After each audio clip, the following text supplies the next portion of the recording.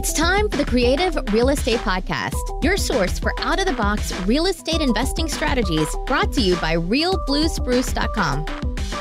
Creative listeners, how you doing? Welcome to the Creative Real Estate Podcast. I'm Adam Adams. This is possibly the longest running every other day real estate podcast. We only talk about the out of the box strategies that move your business forward. We don't get any of that non-creative stuff. With us today, Joe Fairless. How you doing today, Joe? Adam, I recognize that introduction from somewhere. I just can't place it though. It seems eerily familiar. Yeah, yeah. I I, I botched it a little bit, but uh, a little bit about Joe. He's the host of the longest running daily real estate podcast, three time author and host of the Best Ever Conference, which you can go for the biggest discount hashtag blue spruce. So go to besteverconference.com and get your tickets with hashtag blue spruce. That gives you the biggest discount code available. And if you recognize his name, it's because you're a loyal creative real estate listener and you heard him on episode 19. Back in episode 19, Joe Fairless had a $230 million portfolio. It sounds like a lot, but right now you have 400 million. Yeah, a little uh, over 400, but close enough. Yep. Excellent. Well, tell us a little bit for anybody who doesn't know you. Tell us a little bit about your background, and we'll get into the episode. Sure. Well, uh, looking forward to our conversation. It's always a fun and um, uh, uh, enlightening conversation when when we when we talk. And uh, a little bit about me. From Texas, moved to New York City after I graduated. My I made thirty thousand bucks as a junior project manager, and then uh, climbed the corporate ladder relatively quickly, became the youngest VP of a New York City advertising agency, was investing in single family homes along the way once I had some money, kept my living expenses relatively low for New York City standards. My friends would make fun of me because I was living like a college kid, even though I was 10 years graduated from college. But, uh, you know, I, I was saving up money when um, perhaps they weren't and uh, so I started investing in real estate on this on on the side, and then ultimately became um, apathetic towards my full time job and wanted more. At first, I was trying to achieve a monetary goal. I wanted to make hundred thousand dollars in salary by my 30th birthday. I accomplished that around my 28th birthday and I was like, okay, uh, it wasn't quite what I thought I would. It wasn't. I'm not feeling quite what I thought I would feel when I accomplished this goal, and so I realized I needed something more. So I uh, attempted to get that by going to a an agency that did more philanthropic work, worked with nonprofits, and um, it was a little bit better. But ultimately, I decided I need to leave the industry and um, do some other things. And so I sampled life experiences. Uh, that's what I call it, where I was testing certain things while I had my full time job. For example, I was interviewing people for a book, I was doing stand up comedy. I failed at that miserably. I, I the the I, I performed in two places. One of them has since shut down, so that's how good or bad I was. They went out of business afterwards and I did some other things too. Um, I taught a class on how to buy single family homes while living in New York City, but investing in where eh, where the numbers make more sense. And ultimately, I landed on apartment investing. And um, so now, as you mentioned, uh, we've, we've got over $400 million, my business partner and I, along with our accredited investors. And all of our portfolio is in Texas we'll be expanding from from Texas, but you know, right now we got a, a good thing going, and um, just a focus really on the execution of those deals. All right, so today we're going to talk about your book, your real estate conference, and I want to get into your best advice ever because I don't think that you always have that opportunity to really dive deep into that one thing that you recommend to others. And then we'll talk about a challenge that you had in your business. But before so, you kind of introduced our, yourself saying Texas, New York, corporate v, earliest, youngest VP, did single family. My first question How did you keep your expenses low? When you were in New York, what were you doing to actually keep your expenses so low? I lived in an apartment that was uh, uh when I first moved in in oh what was this 2006 um well first my first apartment was 700 and some dollars and so was my check every other week from um, or twice twice a month from my advertising career. So I lived in a very dangerous area of, of Brooklyn at the time. I'm not sure where it is now, but it was East Flatbush, Brooklyn, and um, very dangerous. Statistically speaking, the busiest police precinct in all the five boroughs at the time. Um, so I, one, I lived in a an area that wasn't desirable for a year, but then for the remaining nine years I was in New York, the way I kept my expenses low was I had a roommate in my apartment. Um, had two bedrooms, one hallway, one bathroom, and a tiny kitchen area. That's it. No living room, no no no no, no, no extra room, um, or anything like that. It had a dorm style refrigerator that was stained red from some chemical concoction that one of my previous roommates had created. He was a chemistry major. He was going to college at the time, and I don't know what he blew up in there, but it stained the bottom of the refrigerator and melted a little bit of stuff too.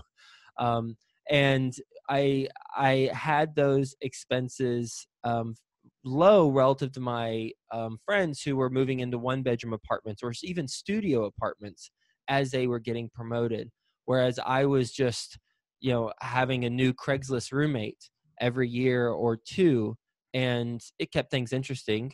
Um, have some crazy stories from roommates but perhaps not not the right forum for for that.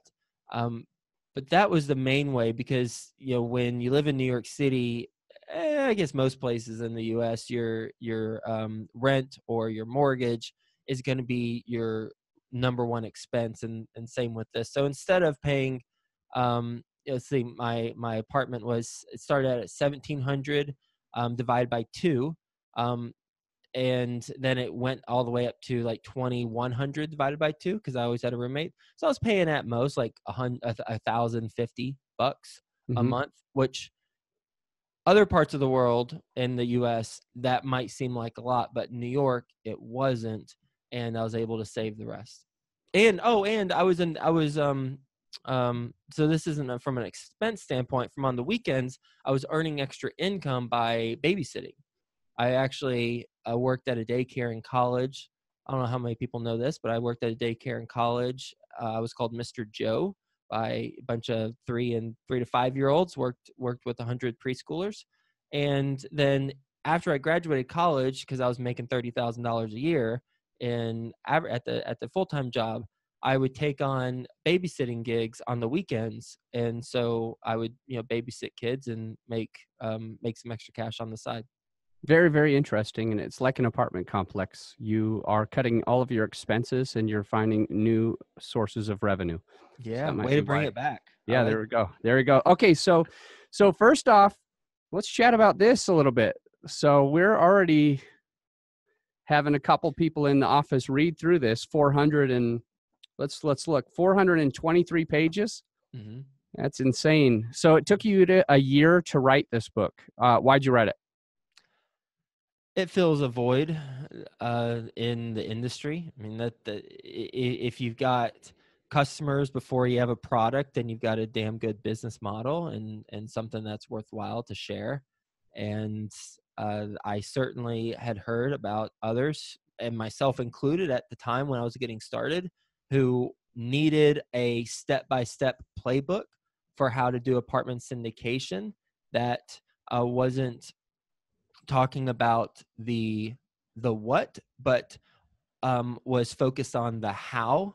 And that's the key with this book. It focuses on the how to do an apartment syndication uh, breaks up into four categories. One is getting the experience two is the deal three is the money and four is executing on it. And um, you know I, I, I am an apartment syndicator so why not um, write about how to syndicate apartments and um, help others along the way? So let me ask you um you said it talks about getting the experience. What's what are the takeaways from that part of the book? Oh i mean ultimately at least it, most people have a challenge of wanting to do larger deals but not having done a larger deal yet. It's chicken before the egg dilemma. And the solution there is you surround yourself with the right people. And that's not groundbreaking. I mean that's that's not revolutionary. Most of the people who are listening have heard that. But there are some tactical things that you can do in order to surround yourself with the right people. On my very first deal, and I talk about this in the book, um, I brought in the brokers who were representing the seller, and they put their commission into the deal, and they got 25% ownership in the deal. And then I could talk to my investors and I could say, um, correct, I do not have the experience yet on a large apartment community. However, the brokers who are representing the seller believe in this deal so much, they have agreed to invest their commissions back into the deal and invest alongside with us on it. And that's pretty powerful. So ultimately, what you're trying to do, and that's just one example, there are many things you can do um, to bring on experienced team members, but the the the the way you do that is you show alignment of interests with your investors and those experienced team members. Um, there, you know, there's another tactical thing you can do where you um, partner up with property management company, you give them a piece of equity uh, in exchange for them um, bringing their experience into the deal, so that you can then again go back to your investors and say, "Hey, here's how we have alignment of interest with people who have decades of experience." Um, so that you proactively address the question of, "Well, you haven't done this before." Uh, and you know, before you go into doing an apartment syndication, I mentioned this in the book. You need to have baseline knowledge of what the heck's going on. So I don't recommend, um, you know, going from wholesaling one single family home to doing an apartment syndication because the learning curve is too steep. Um, however, when you are at the point where okay, I have the baseline knowledge, now I'm ready to do it, but oh, there's this challenge that most people, 99% of people have come across, by the way, of I don't have the experience but I want to do a larger deal, then I list some ways to have alignment of interest. I, I don't know how many I list, probably 10, 15 um, uh, ways to do that so that you can then partner with the right people and ultimately overcome that challenge. Great. And I've, I host a lot of meetups and I, I see a lot of people that come to me and they, they're missing that key component. So I like that you put it first in the book because it is something where um, other other people they just really get hung up on it. So it's almost, in my opinion, putting that first is is a way to say, don't let this be an excuse anymore. So um, I've already had a couple of people read this book, and they're a lot faster at reading than me. So it took them a few days. I don't know how they could do that, but it took them a few days. They couldn't put it down. I literally, well, first off, I, I read a review on Amazon a, couple days ago, and they mentioned that you referred the book to them. Oh, so, uh, nice yeah, grateful for that uh, first. Second is um, when we were in the final stages of the review process, I literally read the book cover to cover to do a final pass to catch anything um, in 36 hours.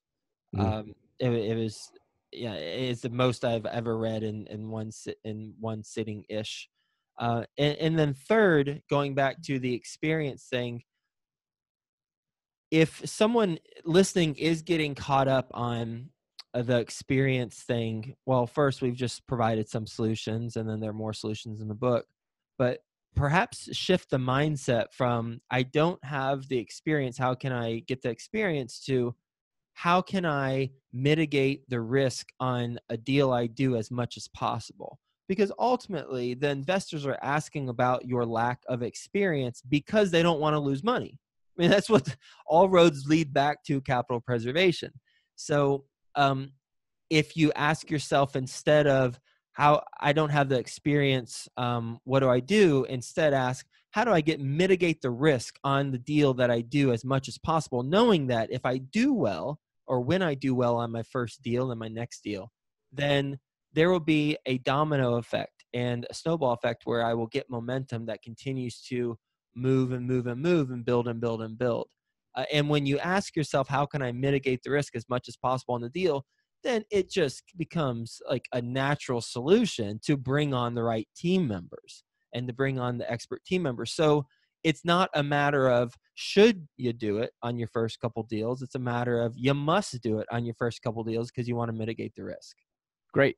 As far as doing the deal or finding the deal, do in the book do you go over uh, underwriting strategies rules of thumb things like that yeah absolutely i mean we, we go over how we underwrite value add deals and the assumptions to um, look at a little bit closer than others as well as how to find off market deals in a challenging market. Right now, it's pretty challenging to find a deal. The money is um, available, relatively speaking. Um, but the deals are not as available, and you know there's always a challenge in any point in time. So who cares? It's uh, there's always solutions. You just got to implement the solutions and and and work harder, or be perhaps a little savvier or clever than than others. And one way that we talk about in the book that I've personally done um, finding an off market or finding deals in a tough market is we found an apartment community, all one bedrooms. It was marketed by a broker, bidding process, bid the property way up.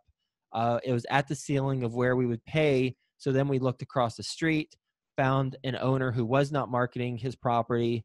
We approached the owner via a broker who had a relationship with the owner. We knew the broker. Um, that broker helped us get the property across the street, which, by the way, happened to be two and three bedroom apartments. And we were then able to go back to the original property, the one that was getting bid up and up, and pay top dollar for that one because we're buying it as a portfolio with the off market property that was across the street that complemented the one bedroom property really well because it had twos and threes. And then in total for the portfolio, we got below market. We were buying it below market because we were buying it um, two properties in one. So the takeaway is in, an, in a hot market, one tactic, and I talk about this and plus a bunch of others in the book, is look across the street or look next door. If you have a property that you like, but it's on it's on the market, or perhaps you're direct to the seller um, or the owner, and they're looking for too high of a price, then take a look across the street or next door, see if you can get a combo deal, and if that can bring your total transaction cost down, then you might have yourself an opportunity. Wonderful. Um, between so the third one is money.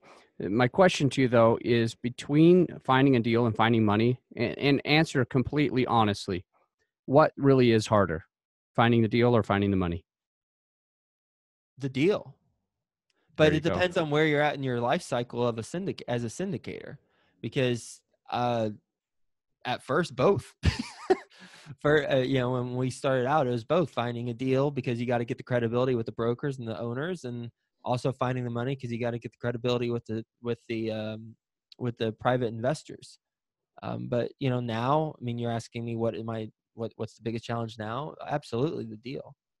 Okay wonderful. On raising equity for closing on the deals I do have a question. So I was I was going to try to have you at the Raising Money Summit by the time this comes out. Totally passed already.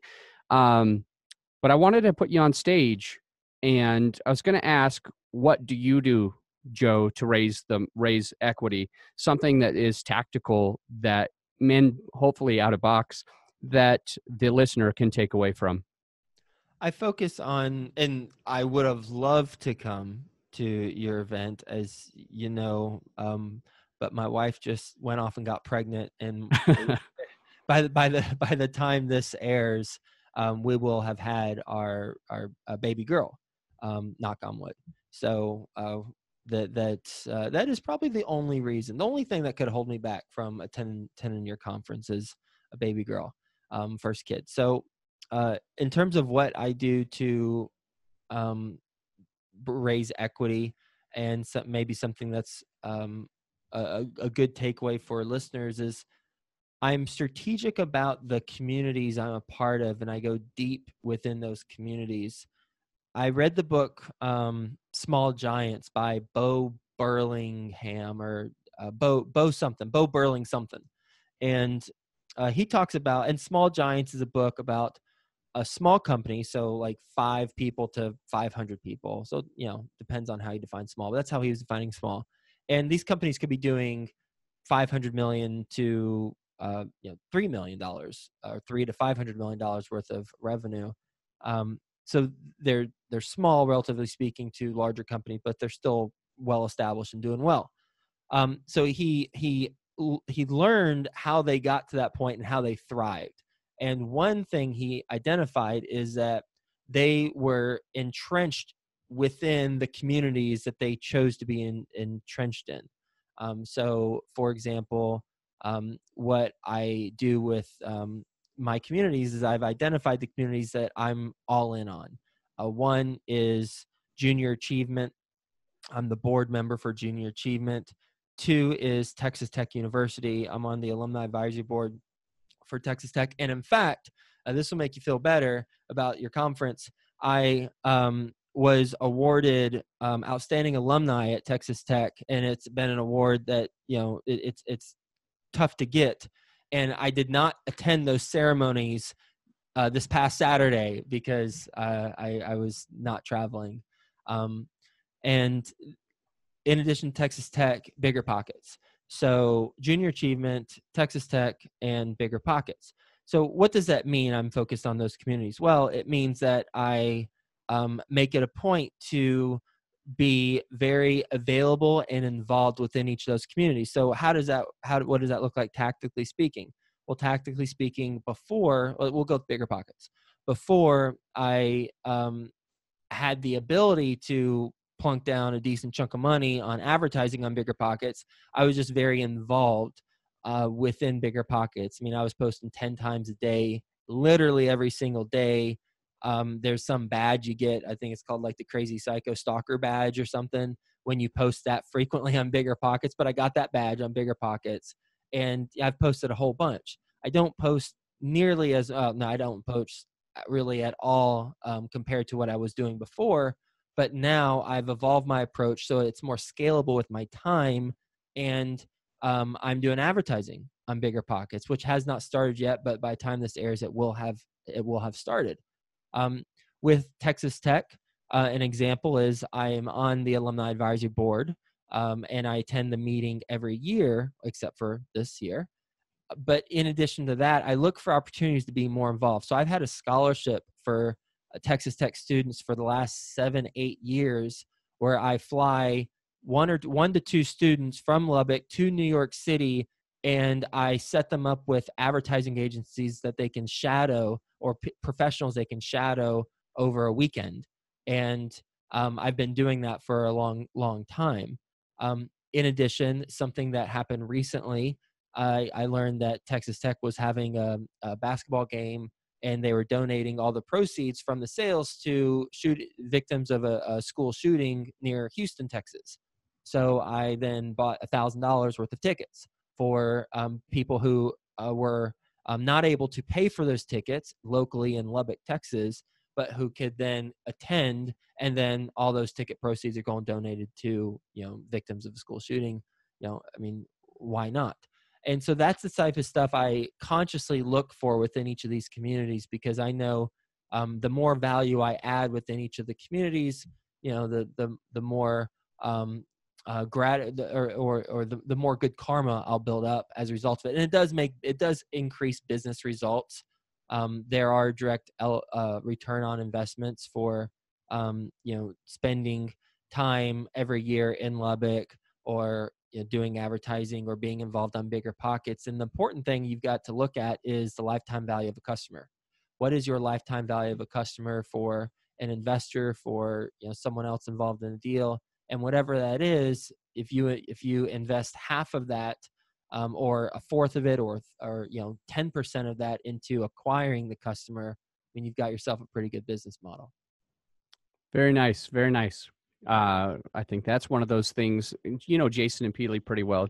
Pili yep. often will Very say, "You need to re- you need to rewind that last five minutes and play it again." That's that's definitely one of those times. A lot of a lot of good insight. Thank you on the inside on the execution of an apartment building it doesn't just stop when you close does it a lot of people talk about how to find apartments how to get the money how to you know get the well that's really it how to find apartments how to get the money that's what most people talk about they don't talk about the execution of it and the money's made or lost when you execute on these large deals um, more so than how you buy because for the most part, if you get to the finish line, you've you likely have a, an idea of how to underwrite deals because you've done it so many times. That's the that's the that's the that's the the the problem with this dynamic is it takes a lot of deals to underwrite in order to find a deal. Therefore, you've just muscle memory. You've done it many times, so you would naturally get better and better at it. But congratulations, you just closed on a deal. Oh, this is the first deal that you've closed on, and there are no trial runs for this. This is your deal. So make it happen, execute. And that's where a lot of the money is lost is on the execution uh, or gain is on the execution. And so we went into the details of, and when I say we, Theo uh, and I went into details of the execution and, and ways to, there it is, uh, ways to think about and, and actually implement some best in practice um, asset management techniques. Yeah, and yeah, kudos to Theo um, as well. I'm going to get him on the podcast. He's done some incredible things, uh, working with you, aligning himself with the right people, everything that he's doing in his business. So uh, yeah, that's why we push that out in front of everybody who is watching, because this is both on the um, the podcast that people just listen to, but if you guys want, you can pop over to YouTube and look at this, and you'll be able to see what we're doing and how we're talking. So there is a couple other things that I wanted to talk about. Um, first is your conference. So if you could just tell us a little bit about uh, what why you started the conference is, and is is the brilliance of having a conference somewhere within your book as well to help people get to the next level because i know that's a step that that works for you yeah i, I talk about having a thought leadership platform and the conference certainly is one of them i I discuss having a meetup group, a local meetup group, which you know you do in spades, and the benefits of that, and the benefits of of hosting one versus just attending one. Because if you have the time and you dedicate your time to attending one, then you'll get um, a disproportionate, uh, greater results when you host uh, relative to just attending one. Um, so uh, the the conference the the reason why we did it is because there's a need for a conference that has um, a focus on commercial real estate. This we we don't talk about. I don't think. Yeah, we don't talk about single family home uh, investing. It's all commercial real estate focused, and the investors in the room are investors who have experience uh, so this conference, while it would be beneficial to someone who has not done a deal, you might be in over your head if you're brand new to real estate and attending the conference. I think you'll soak up a lot, which is great, but the the investors who have done a couple deals and are looking to continue to scale, uh, and in particular um, within commercial real estate, and I'm talking about anything from multifamily to investing in marinas to raw land, um, office, retail, anything within commercial. Uh, this is this is the place to be in Denver. I completely agree, and I believe that we are looking at February twenty second and twenty third, right? You got it. Besteverconference.com. Is that a Friday, Saturday? What what what are the two yeah. days that it's on? Yeah, Friday, Saturday. Okay, perfect. And you've quoted me and I appreciated being on your commercial. But I watched the commercial for it, and there was a lot of different people that kept saying this truly is the best conference ever. And I remember saying that when they got me on there. But uh, what what I said in there is this conference is amazing. I was blown away. That was while I was at that conference the first time. I was just totally blown away. And uh, kudos to you and your whole team, to Ben, and um, what I've taken from that conference, it, that the networking alone, uh, I don't remember how much the ticket costs, uh, but the networking alone is at least worth 10 tickets, at least worth 10 tickets. So, uh, very, very good conference. And again, for the audience, if you want to come, just put in hashtag blue spruce and it'll give you like 25% off. Uh, go to besteverconference.com. And then let's look. What was I going to ask you? All right. What's the your best real estate investing advice ever? Uh, I'd say control the money and the deals will come. When you have access to whatever amount of money that you need, then deals tend to be sent your way.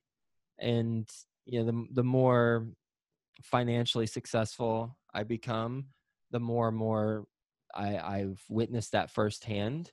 Uh, whereas at the beginning, you know, weren't getting as many deals. Uh, but as we uh, gain you know a bigger and bigger footprint we get sent deals uh, frequently and then i personally get sent uh, a bunch of deals and a bunch of wacky stuff too so it, it does uh, necessitate having a, a stronger filter but um, when you focus on the money then deals will come. Now that's uh, important to uh, it's important to elaborate on that a little bit. One is a lot of people in you know, single family and you know, smaller residential say hey find the deal and the money uh, the money will come.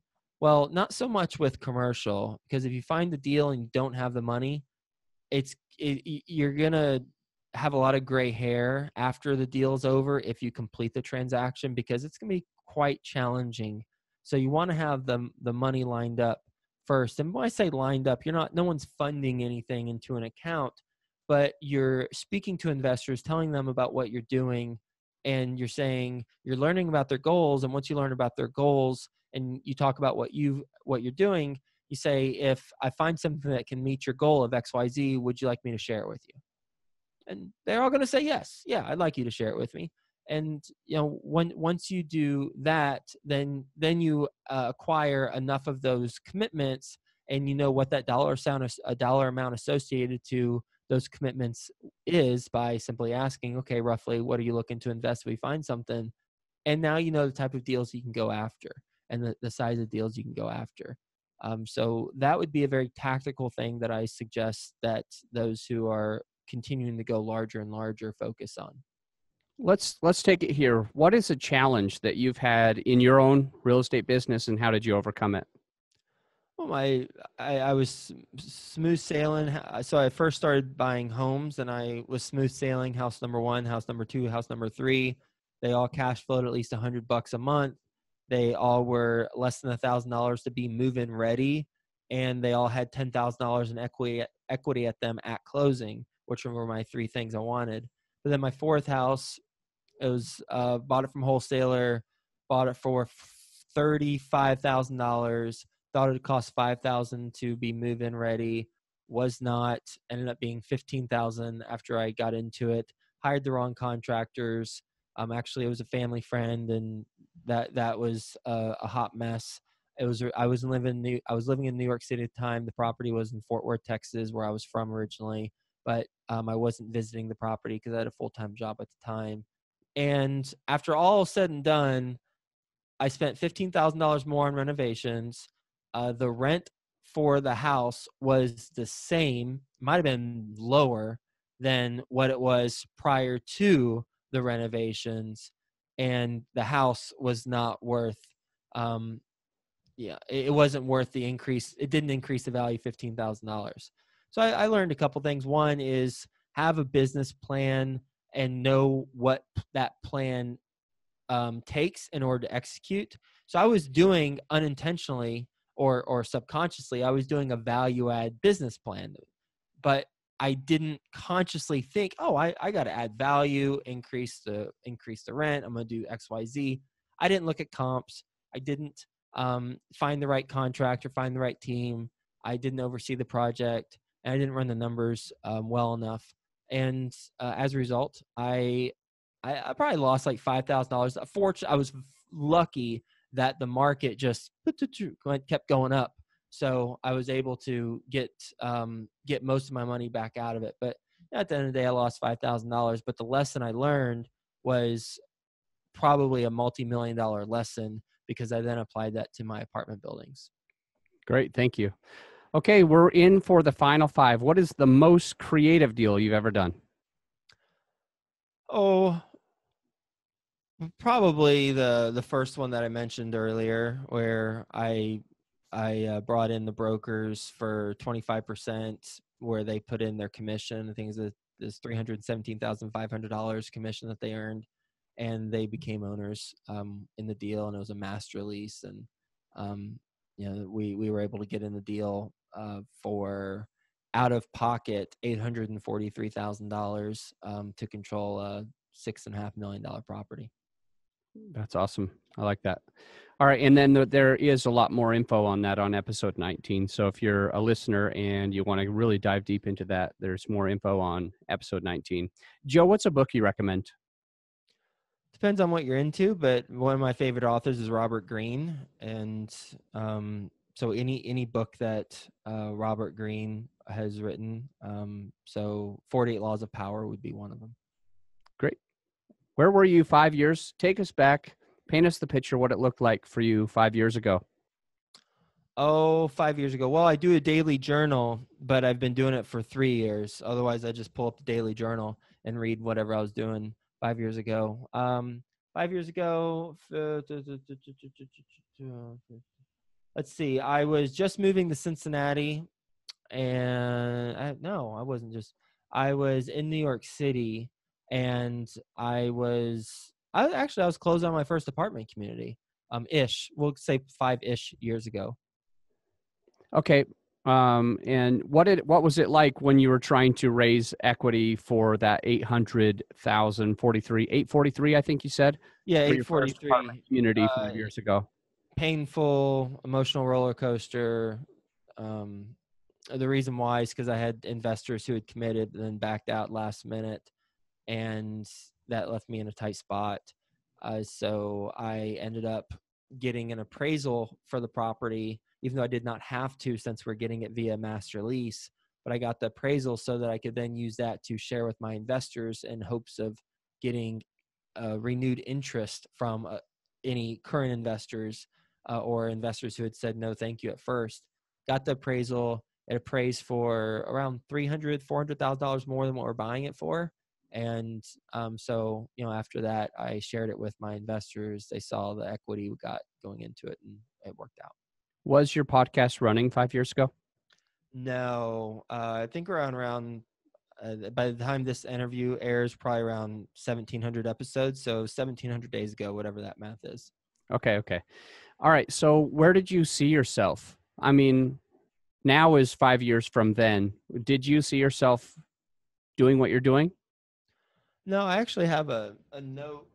It's behind me. So behind me is like my inspiration wall and I have notes from investors and flyers from our properties and stuff like that. And one of the things I have printed is an email that I wrote to my family uh, November 12th, 2012, I believe. Um, it was definitely 2012. I don't remember the exact date. Um, and I said, I came, I conquered, but I don't want to do advertising anymore at all. I don't know if I conquered, by the way, I just said it and I want to focus on helping others with their career as well as um, pursuing real estate. And so it wasn't there wasn't a clear vision at first uh, in terms of doing apartment syndication, but I realized as a result of teaching the class uh, on on investing in single family homes, people who who attended the class they said, "Well, if you do something larger, let me know. I'd like to partner with you." And going back to what I said earlier, if you have customers before you have a product, then you've got something pretty good. And so I realized my customers, investors wanted to um, partner up, but I did not have a product, a apartment community. So then the light bulb went off. Okay. So, all right. And where will you be five years from today? What do you see? Uh, executing on deals. I mean, that, that's the main focus. Is as as long as we continue to execute well on our current portfolio, then we'll grow organically and things will sort themselves out.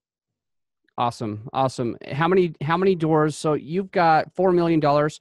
Where do you see yourself five years from today? Uh, four hundred yeah, million. Yeah, a couple zeros. uh, uh, where do I see myself? What? In five years from today? Do you have a portfolio size that you expect? No, I don't care. I no, okay. I don't. I don't care at all. I mean, I say a billion dollars before my 40th birthday. I'm 36 right now, but I, I really don't care about that. It's it's kind of just uh, um, just something to to throw up there. Um, our focus is performing. As long as we perform, we'll continue to grow organically. Investors will continue to invest with us. I mean, I have an investor who's let, invested with us 11 times. He's in 11 of our deals and you know we'll we'll just we'll keep rolling and you know what wherever we grow to we'll we'll grow to. And we already kind of talked about how you give back. How do people find you? How do they find your podcast the best real estate investing advice ever show? Or how do they just get to know you a little bit more? Yep uh, if you're well just go to joefairless.com you can you know if you're wanting to passively invest go to investwithjoe.com if you're wanting to actively do apartment syndications, then go on Amazon read the reviews from the book, be, uh, best ever apartment syndication book. And after you read the reviews, when you buy it, email the receipt to info at joefairless.com and we'll get you a bunch of goodies. Um, just mention that you heard about the, you know, the gift um, on the show. Awesome. Thank you for coming on, Joe. I really appreciate your time. Hey, enjoyed it. Hey, listener, go get this book. It is incredible. Joe spent a year on it for a reason. Uh, Joe, I really appreciate your time. And until next time, my friend, think outside the box.